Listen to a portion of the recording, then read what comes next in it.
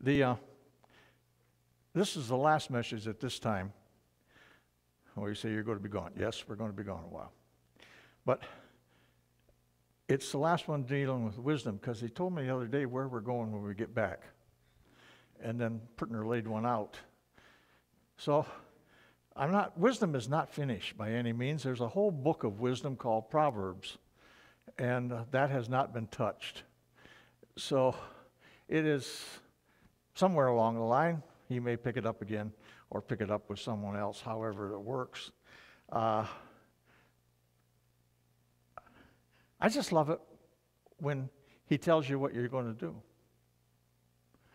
It takes a lot of responsibility right away. And that's how it's supposed to be. He doesn't burden us down. Kay's been doing a study, and just for the record, Kay's been doing a study. She asked me if I had a study. I had one. I've never looked at it. I've never done it. I never did it. Huh? Yes, I have. She keeps telling me. She says, You're preaching it. I said, I've never read it. I haven't been able to get there. So uh, there you are. Uh, Kay's enjoying it. She's passing it on uh, in some measure. But the Word of God is good, and it, he, he seems to work in given areas at times of, at times of the, what we look in seasons. Uh, he blends. He comes across Christendom and seems to say, We're going here. You say, How do you know that? I've watched it over the years. No, that would make you believe I was older than some. But I've watched it over the years. He will come along and give you a revelation of truth, something you hadn't heard, something you'd never seen before, and, and then share that with you, and you begin to deal with it, and it begins to expand. And you say to yourself, and I've said to him personally, when he rolled one of these out, I said, I've never heard anybody say this. No, you haven't. He didn't respond. He just let me. He just, you know, left me there. He figured he could handle the job, and I just my my was my place was to wait on him, and he began to roll it out. Then my place was to then start talking about it. The minute I start talking about these things, you start finding where other people are seeing them. Not not everybody, but there's samplings here, there, and the other place of what he is doing in Christendom. And you say, God, you're good. you know, you're just flat good. That's all there is to that. You, you get this done. So today, we're going to talk about wisdom transferred from the mind of Christ. Wow.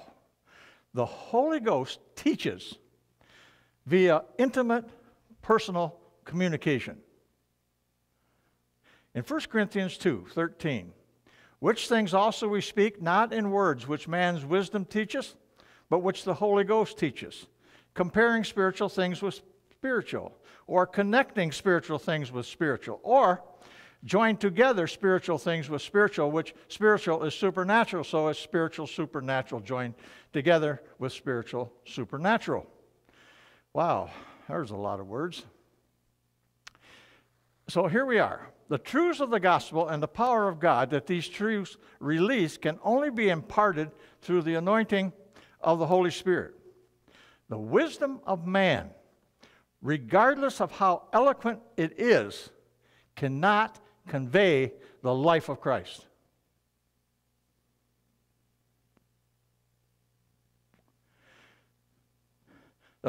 The preaching of the gospel that is done in man's wisdom, it's impressive to the carnal mind, but it leaves the spirit starved for the touch of God. The greatest need, I think, today, and has been for generations since he authored this, is not for more education. Education is great. I recommend it. But here is the necessary ingredient to go along with it to receive the revelation knowledge of the Holy Spirit.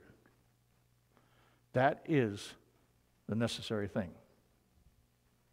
I'm reminded uh, of a story. Two, two young men in seminary, they're given the same project, had to have the results by the next day, and uh, one of them worked, and he was scheduled to go to work, so he had to go to work. The other one had some time, so he went to the library. The outcome was they both had the correct answer, but how did the other guy get it that didn't have time? He got home from work, knelt, prayed. Where did it come from? God gave it to him. All right? That's the Holy Spirit's business. That's what he was sent here for. That's why Jesus went away, that the Comforter would come. One of the most vivid examples is Luke 2.26. And uh, the whole story is told within the verses of 25 and 35. But look at this is Simeon. It has been revealed unto him by the Holy Spirit that he should not see death before he had seen the Lord's Christ. Generations was anticipating or looked for or heard of. Simeon, by the Holy Spirit, says, You're going to see him. You're going to see him. You're going to see him. He did. He saw him. Who, do, who orchestrates our assignments, our appointments? I think we just need to recognize that He can organize us, He can organize our appointments. When He shares, that's what He has planned. This revelation, type revelation, comes directly from the Lord. It wasn't taught to him, to Simeon, or anything that he observed through his senses. This was a special knowledge that the Lord put in his heart, and all believers has access to revelation knowledge. The Holy Spirit is sent to instruct us. John 14, 26 says to teach us all things. That's, he shall teach you how many things? All things. John 16, 13. If you was here Wednesday, you'd have got a, a, a, a discourse on this one. Uh, he shall guide you into all truth, for he shall not speak uh, from himself. What things soever he shall hear, these things shall he speak. He, will, he shall declare unto you the things that are to come. Uh, he'll guide you into all truth. Well, wait a minute. Oh, and show you things to come. Does that say that in there somewhere? Did I miss it?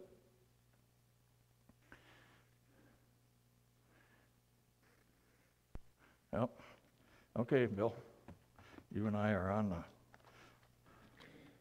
Uh, John 16, it's in there. It hasn't gone away. Has he changed it already? That Bill sometimes gets, he's out there so far that He's way ahead of me. Uh, 13, he'll show you things to come right down here. Okay, I should read it all, shouldn't I? Take your own advice, Lynn. All right.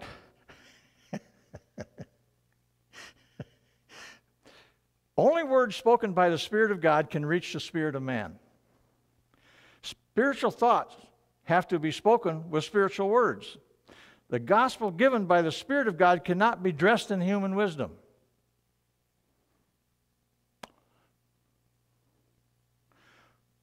Paul says we are to use words taught by the Spirit. It indicates the Holy Spirit will not only give us the content of the message to be proclaimed, but also teaches us the words to proclaim it. I am personally convinced. Can I say? it? I'm going to say it anyhow. I'm personally convinced that God has a plan for each and every service. He also has a plan for the message for each and every service. It behooves we who are in the position to teach, share, to have His word for that particular time. I don't care if you're sitting in McDonald's sharing with someone. Listen. Listen to what He has to say to you. Because he may have something for another person, and you're speaking it, and as you're speaking it, he will say, Listen, you're talking about yourself too. Ever happened to you? Oh, yeah, I can well remember the day. okay? You're talking about yourself too. You say it wasn't scripted. No, it wasn't. It was spontaneous coming forth. So, I'm going to talk about the children of God for a moment. There's two distinct growth patterns uh, in the children of God. Are you ready? Both, notice, both of them are children. Both are going to heaven. Let me clear that up before we even start. All right? You say, well, where are you going here?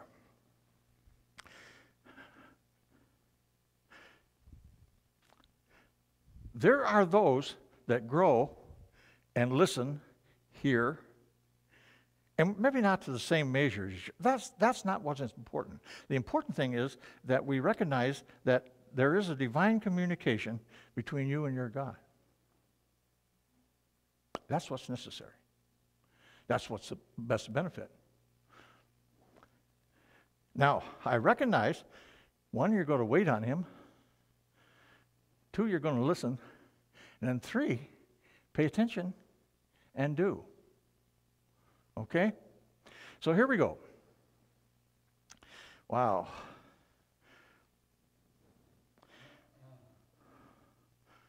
On one hand, we have those who have been born of the Spirit of God and become His children. All, of these two groups have become His children.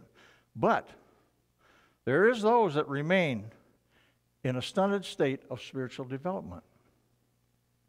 You say, whoa. They tend not to grow sufficiently so that God can communicate with them on an adult basis. He spoons feeds them.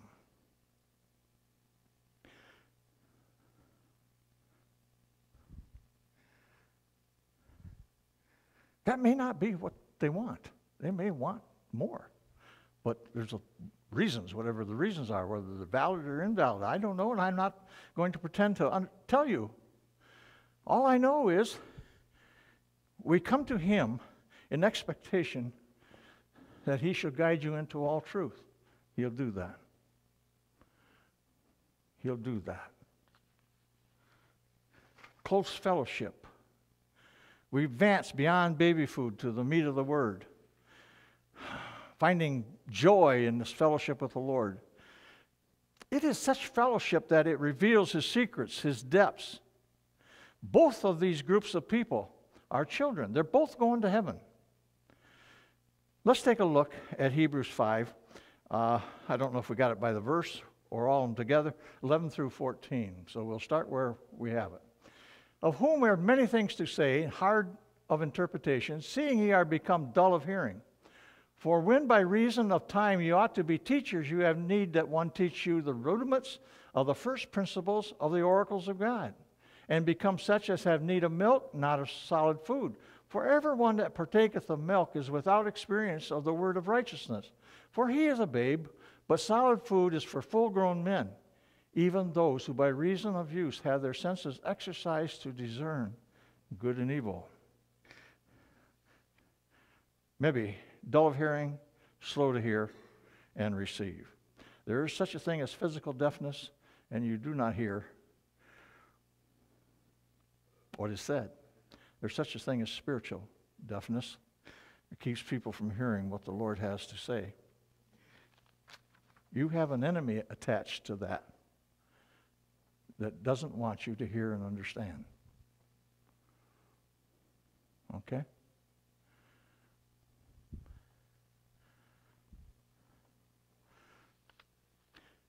Verse 12, I read it on the board. For when you, it's time you ought to be teachers, you have need that one teach you again the first principles of the oracles of God, and become such as has need of milk and not of strong meat. You are not recent converts, because recent converts dine on milk. But you ought to be able to teach those that are seeking if we need a teacher, if we need to be taught again ourselves, then we too are on milk. Milk of the first lessons that children's learn. Not meat, let alone meat that tastes and chews like meat. That is, that is flat at risk. That is flat fun when you're chewing meat. I like meat in the first place, real meat. Okay? So I think in some measure it may just follow over into the spiritual realm. I like meat. That's all there is to that. I like meat. Verse 13 Everyone that uses milk is unskillful in the word of righteousness, for he is a babe. Uh, we're in a move of uh, developing some more notes on righteousness. Uh, milk users are unexperienced in the word of righteousness.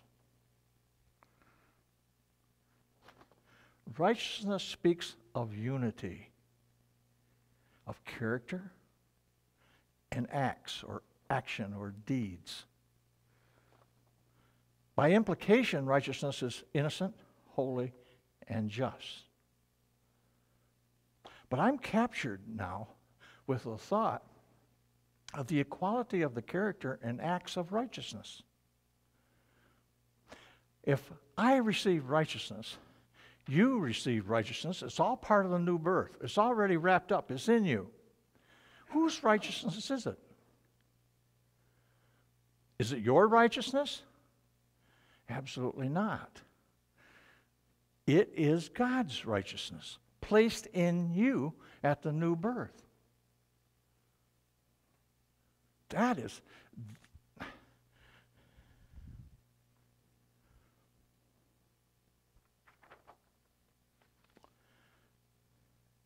You gave Jesus your sin. Let's do it. 2 Corinthians 5.21, Bill. I didn't really look to put it on the board today, but we'll do that.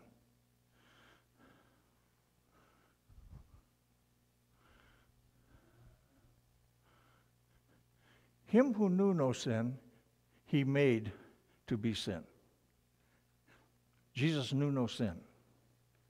God made him to be sin on our behalf, that we might become the righteousness of God in Him. The righteousness of God. We gave up sin and received His righteousness by divine choice, by divine expression. That was a transaction that happened. It's already happened in you. Now, we need to, we need to develop from milk on up to, to meat. Because then you'll see the innocence, the holiness, the justness of righteousness which was given you when you gave Jesus your sin. The righteousness of God carries a double meaning, I think. It is also it is legal. It is a legal term in the spiritual realm. It means you are without guilt or sin. All right? Without guilt or sin. What? Forever. Forever. Oh, you've been reading your book. Forever. Somebody asked me, is one going to ask a question today? And I says, no, but, you know, I don't think so. Forever. Forever. And How do you know, how do you know it's forever? Because God said it was. And Where? The only reason that we think it's not forever is because we're looking at ourselves and thinking we're unworthy. We are unworthy. It's not us. It was Jesus who was worthy. He has done it for Hebrews 10 14, Bill. Let's see if this works. You believe that? I'm getting there. You mean it's a progress? It is for me. I think it's a progress for most of us. For by one offering he has perfected forever them that are sanctified. How about verse 10? Let's see if that says what I think it might say. By which offering we have been sanctified through the offering of the body of Jesus Christ once for all. And in that same set of Hebrews, uh, in 9, 10 uh, chapters, there's another one in there, and I don't know quite where it's at. But He forgive your sin. All right, we'll back right up to Wednesday night. The simplicity of this is wrapped up in these scriptures John 16, 8 through 11. Let's try them. When He, the Holy Spirit, when He has come, Jesus is going away that the Holy Spirit will come. Right? Amen, brother. And He will convict or reprove the world of sin and of righteousness and of judgment. This is the world He's talking about. The world has sin, doesn't have righteousness, and they're in a form of judgment of sin because they do what? They believe not on me. Simple as that. That is the whole uh, thing of salvation in a nutshell, right here. Of righteousness, because I go to the Father and you behold me no more. Of judgment, because the prince of this world is judged. Can I have verse 17 of that same chapter? It's either 17 or 19. We may have to look at both. Uh,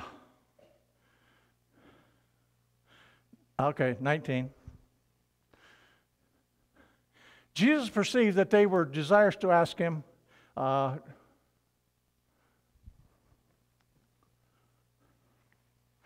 oh, 1 Corinthians, 2 Corinthians 5, 17 or 19. Let's get in the right book.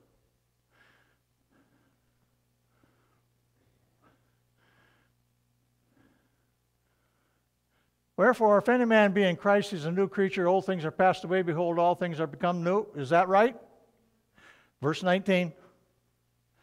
To wit, that God was in Christ reconciling the world unto himself, not reckoning unto them their trespasses, and having committed unto us the word of reconciliation. Sound familiar?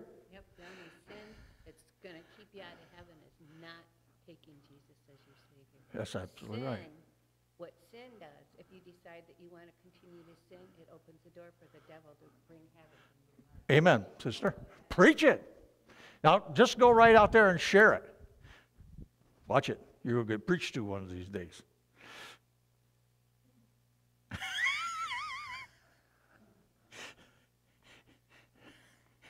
Absolutely. The only thing that is keeping you, keeping anybody out of heaven is they don't believe on the Lord.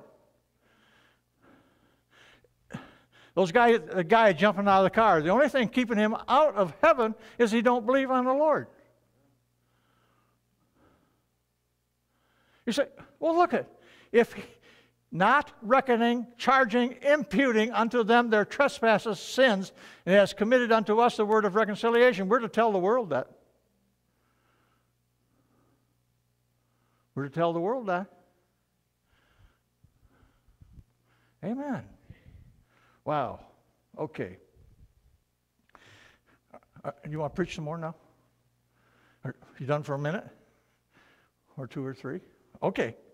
All right, where are we at? Uh, let's go on down through here. I said uh, illegal is without guilt or sin. Uh, character wise, it is a perfect, morally wise, it is a perfect righteousness, a character that can only be attributed to God Himself.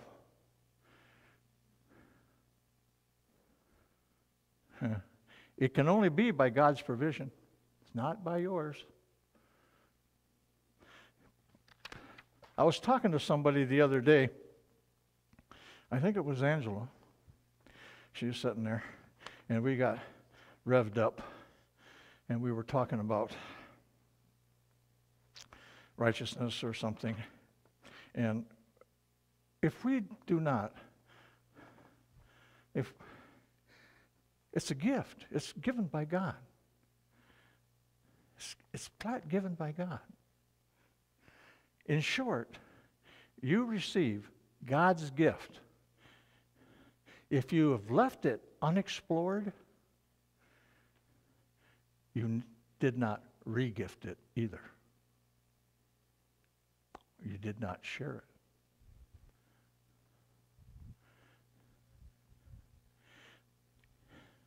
You get the word and you give it away. Here, here is a secret. You say, why do certain things happen to certain people? There's secrets to this in a measure. There's truths here. Uh, Assembly God pastor, Dowagiac, Michigan. I, I was sitting out there hours on end, days on end, and Ruth and I and the family and, and so on it went. And uh, there was this little Assembly God pastor in Dowagiac. God would roll something off the press by the Spirit, give it to me. I yes. So I'd drive the five miles to town and share it with him. And finally, one day, after repeated sessions of this, he looked at me and said, How come you do this? I said, How come I do what? How come you come share these things with me? Most people, most pastors wouldn't do that. They'd want to preach it. And, be, you know, to be first. Hey, this thing's not about being first, it's, it's about getting truth out here. But he didn't know what I was doing. because the minute I gave it away and left him, I hooked a corner and headed out to O'Keefe Road. And as I was making the turns going up the hill, I was saying, All right, Lord, I gave it away. See, didn't have money to give away. You know, had the word to give away. I want some more. I want some more. Well, you're kind of squirrely. I kind of enjoyed it though. Strong meat belongeth to them that are of full age, even those who by reason of use have their senses exercised to discern good and evil. You do this by waiting on God. There has to be a similarity between two characters before there can be intimacy between them. Such intimacy over the years enables them to understand each other as no other human being can. The joy of one is the joy of the other. The sorrow of one is the sorrow of the other. The interest of one is the interest of the other. In short, they know each other's secret self. They possess each other's love and confidence. And what is known, what is known by the name of friendship is fellowship, partnership, oneness. John 15, 14 and 15. Here's the truth, folks, right here. You are my friends if you do whatever I command you. Henceforth I call you not servants or slaves, for the servant or slave knoweth not what his Lord doeth. I have called you friends. For all things that I have heard of my Father, I have made known unto you. I went away, I paid your price, your sin debt, that the Holy Spirit would come and give you all truth. Hmm? Amen. Glory. Wow. And when this happens, it'll fill your heart with joy unspeakable and full of glory. Wisdom is transferred from the divine. The method is the Holy Ghost, the teacher, is the revealer. The students are you and I. All right? Those who love the Lord and God hath prepared. You love the Lord, God prepares you. He does. He prepares you. He equips you. He gets you ready for that which He has for you. He prepares you. The lessons are the deep things of God that the Spirit searches. You've been learning about this now for several weeks. The cost to you is they're freely given to us of God. If it's a gift, it cannot be charged to, your, to you. All I can do is say thank you and experience it to its full potential. The overview is comparing spiritual things with spiritual. The results are demonstrations of the Spirit and of power, thus confirming we speak the wisdom of God, the wisdom hidden from the world, but God before the world has ordained it, the wisdom unto our glory. Whose glory? Our glory. Oh boy. They, the things of the Spirit, are spiritually discerned. This, These verses will conclude, I think, the 1 Corinthians 2, chapter 2, and the verses 14 through 16. Let's read them. The natural man receiveth not the things of the Spirit of God, for they are foolishness unto him, neither can he know them, because they are spiritually discerned, judged. But he that is spiritual judges all things, yet he himself is judged or evaluated of no man. For who hath known the mind of the Lord that we may that he may instruct him? But we what? But we what? Have what? The mind of Christ. You see,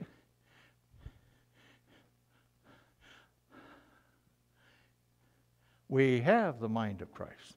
We have the means to draw from the mind of Christ, to listen. The Spirit comes to share, reveal all things. Patty, on my desk in the corner, uh, the corner next to the window going out towards the parking lot, I think there's a piece of paper right on the top. Would you get that for me, please?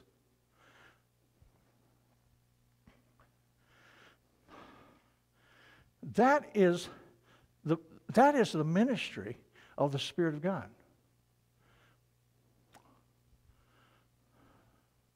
Whoa. The mind of Christ.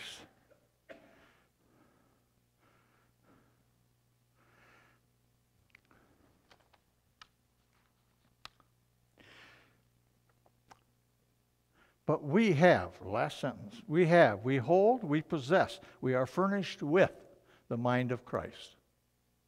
You say, Me? You. You're His. You've been furnished with it. You, Jackson, you've been furnished with the mind of Christ. Say amen. Amen. Amen. Yes, thank you. Yeah, from Dale. He does this to me. He cranks me up. You know, yeah, I told him what the subject was going to be uh, in March, so he fires me off this question Is God's faith in you supernatural? If it's not supernatural, it's dead. Have a great service. now, did he really think I could leave that alone? Or is that just a written thing? So, here is my response to Brother Dale. Welcome to it, young man, over there in the Ukraine. Good morning to thee. The question then is Is God supernatural? He dwells in us with all that He is? Series of questions. He gave us a gift, His Son, and all that He is. Question? Then the Son gave us a gift, the Holy Ghost. Question? Reason to guide us into all truth, us, show us things to come, and empower us right? Depositing with us all things that the Son and the Father has. Um, John, uh, Bill, John 16, 12 through 15. Let me just read it. Uh, you, have seen it before, but seeing we're going afield, uh, we'll do it again. Uh, John 16, 12 through 15.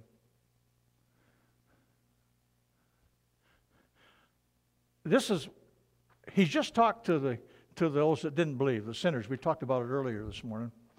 Uh, but now, when he starts verse 12, he's talking to you and I uh, in 11, now in 12. And he's talking about the Spirit, what the ministry of the Spirit is to you and I. All right? I have yet many things to say unto you, but you cannot bear them now. Howbeit, when He, the Spirit of truth, is come, He will guide you into all truth. For He shall not speak of Himself, but whatsoever He shall hear, that shall He speak. He will show you things to come. Right? Amen. He shall glorify me. Amen. He shall receive of mine. Amen. And show it unto you. Amen. Show. Amplified says, reveal, declare, disclose, and transmit it unto you. Amen. Now, if you're not able to grasp that, that these things that Jesus has. Now, hang on. He is about to explain where he gets them from. The one who died for us, who gave us what he is. All right? Hang on. Now he's explaining. All things that the Father hath are mine. Amen.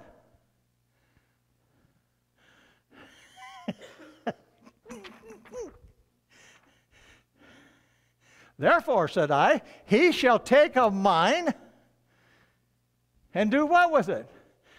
And shew it unto you, give it unto you, reveal, declare, disclose, transmit all things that the Father has. That all, he gave all things to the Son. Neat. Okay. Depositing with us all things that the Son and the Father has. If so, then dwells in us the fullness of the Godhead. You say, Boy, brother, you are out there. Dwells in us the fullness of the Godhead. Okay, Colossians 2 9 and 10, amplified, please. You want to read this to me? Not really? Okay. You want to read it to me? Yeah. For in him the whole fullness of deity, the Godhead, continues to dwell in bodily form, giving complete expression of the divine nature.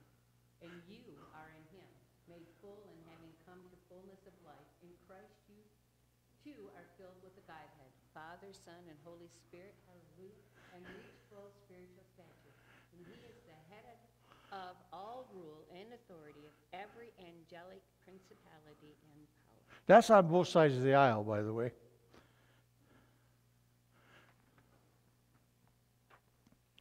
All right? So then, this reply back to Dale goes on. We are then the storehouse of the supernatural, right? Mm-hmm. When they come to us, they did not leave anything of themselves behind.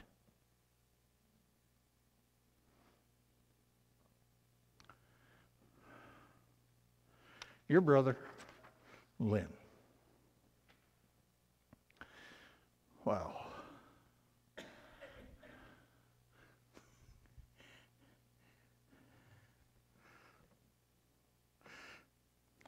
The things of the Spirit are spiritually discerned. I, we read that, uh, 1 Corinthians 2 14 through 16. Let's go to 1 John 4 13 through 17.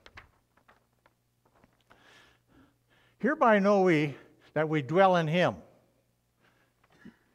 You dwell in Him, right? I mean, after seven and a half years, you know you dwell in Him. And He in you. Amen. Because He has given us of His Spirit. And we have seen and do testify that the Father sent the Son to be the Savior of the world. Whosoever shall confess that Jesus is the Son of God, God dwelleth in him. It's just a fact. Just a fact. Just a truth. And he in God. He does what in God? He dwells in God. And we have known and believed the love God hath to us. God is love. He that dwelleth in love. You dwell in love? You have to if you dwell in God. That's what He is. You say, I don't love. Hang on, buddy. Brother.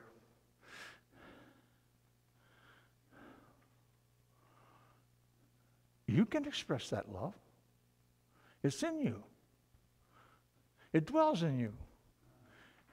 And he that dwelleth in love dwelleth in God, and God in him dwells. Herein is our love made perfect, complete, that we may have boldness in the day of judgment, because as he is, so are we in this world. Wow. Isn't that something? That is, that is fantastic. Let me share something else with you. The, the Spirit cannot, will not dwell in those of the world or natural man. Therefore, they cannot see, hear, or know spiritual things. Only those God has prepared by the indwelling Spirit can know. John 14, 17. They are prepared and furnished with the mind of Christ. Wow. Natural man walking in the vanity of their mind. Let's take another, we're going to go back and look fleetingly at 1 Corinthians 2:14 again. The natural man receiveth not the things of the Spirit of God. They are foolishness unto him. Neither can he know them because they are spiritually discerned. People look at us as if we're crackerjacks of some kind. We're not real. How can you think like that? You have no basis for your thoughts. That's not very wise. What do you compare it with? Hello? The Spirit of God reveals the Word of God. Let me give you this the Word of God is Jesus Christ Himself. The Spirit does nothing more than to explain the Word, which is Jesus Christ Himself. I've always been a little perplexed. Can I say that? You say you've been at this 50 some years. I've, I've been perplexed. And once in a while, perplexed hangs around. I'd like to say hours, but sometimes it's days, it's weeks, it's years. I'm going to give you a scripture, and probably every one of you can quote it. Bill, will you put Romans 10 17 up?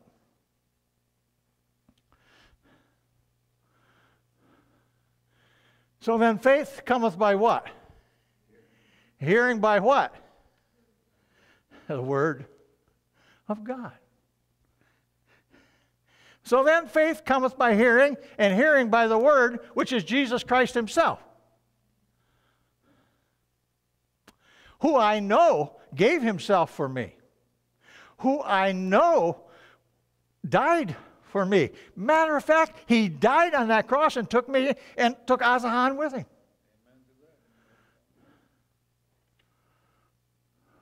Took the world to him, himself there. The Word. I'm coming to the place where I just, I, I said, the, I read the Word. It's Jesus. The Word was made flesh and dwelt among us, the only begotten of the Father, full of grace and truth. Amen. I got grace and truth. Keep doing that. You find out you have a storehouse of supernatural things that you thought was natural. That you had to do something to earn it. There's no none of that. Receive it. Probably what the book said.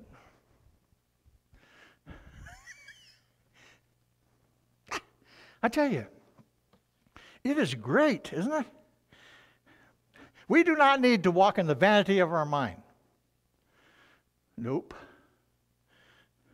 We have the mind of Christ. We just need to get direction over from here to here. Amen. The natural man, the natural man literally means a human being governed by his own natural human powers and not of the Spirit of God. They receiveth not. It's an absolute negative. The natural, carnal, fleshly man's mind will not receive spiritual wisdom. It is foolishness unto him. The word foolishness perhaps is best defined by a contrast as used in another verse. 1 Corinthians 1:18 saying this, "For the preaching of the cross is to them that perish foolishness; unto us which are saved it is the power of God." Huh? they say that's foolishness. I tell you, it's the power of God. What don't you understand? It's the power of God. Oh, you go to those that do what? Perish, it's foolishness. Perish. Oh, my, my, my. What is that? Destroyed fully, perish or lose. Foolishness, silliness, or absurdity. Unto us which are saved, it is, it is delivered, protected, healed, preserved, be made whole. It is the power, the dunamis, the dynamite of God. The result, in contrast, simply spoken, simply said, is this one, foolishness loses. Not complex. Wow. It perishes, is blind, and is destroyed. The two, the saved, are made whole by the power of God, the mighty miracle, the working, the, the working power of God. Natural man has not re- received the things of the Spirit because they are spiritually discerned, evaluated, separated, and judged. The word foolishness also means dull, absurd, distasteful. Remember, the natural man lives primarily for the animal part of his nature. He lives primarily for what? Looks good, feels good, tastes good, sounds good. Mm-mm-mm.